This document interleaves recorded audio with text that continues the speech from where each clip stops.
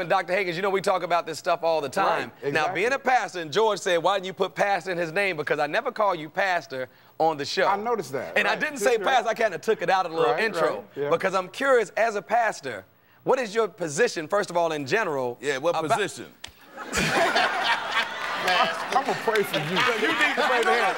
The missionary, of course. You're the missionary, of course. I mean, it's, it's only, uh, but of course. What is it? How can you be a pastor and admit that you don't have issues with adult, the adult industry, or do you? I don't have any issues with it, Mike. But then again, um, I'm an outside of the box thinker.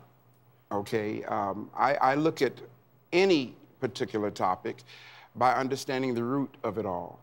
When we talk about pornography, all right, we're talking about etymologically speaking, we're talking porno, porneo, which simply means sex or sexual, and graphic simply means literary or pictures. So the purpose of pornography okay, and its true intent is simply the use of uh, illustrated sex for the purpose of stimulating It's one's obviously sexuality. work. George, oh, now, what did George now, don't, now, now, don't, wait, now don't, follow what I'm saying. don't. Follow what I'm saying. I'm trying. Follow what I'm saying. As a, as a therapist and as a pastor, believe it or not, I do prescribe. So you watch porno? No, I don't watch it. You just I prescribe? don't. I don't. I don't watch it because I personally don't need to.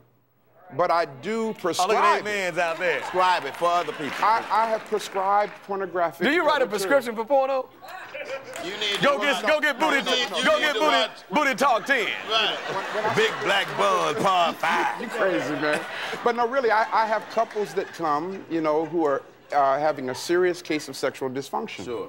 And many times they need some type of stimuli. Right. You follow what I'm saying? So this is what we call conjugal pornography. And that go, is a- go, and go that's ahead, cool. Lexington. I like Thank you, this doctor. kind of what the good doctor is saying. What, what, what porno does, it facilitates the need for fantasy.